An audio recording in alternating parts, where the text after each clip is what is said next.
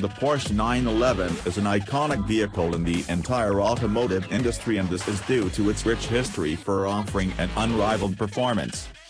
Despite being a well-known upmarket sports car, not many are aware of the reason Porsche decides to offer the 911 with the rear engine setup.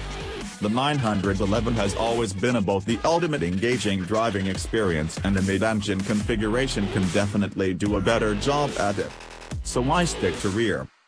One way to put it is historical value. The 911's ancestor, the 356, was built with plenty of parts borrowed from the Volkswagen Bug of that time hence the rear engine setup. Back then, it was cheap, simple and effective, not because of its ability to boost speed.